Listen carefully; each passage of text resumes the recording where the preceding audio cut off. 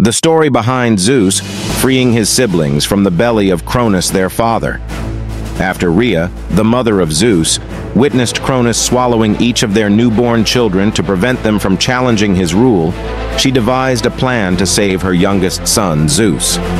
When Zeus was born, Rhea concealed him on the island of Crete and presented Cronus Zeus' father with a stone wrapped in swaddling clothes, tricking him into swallowing it instead.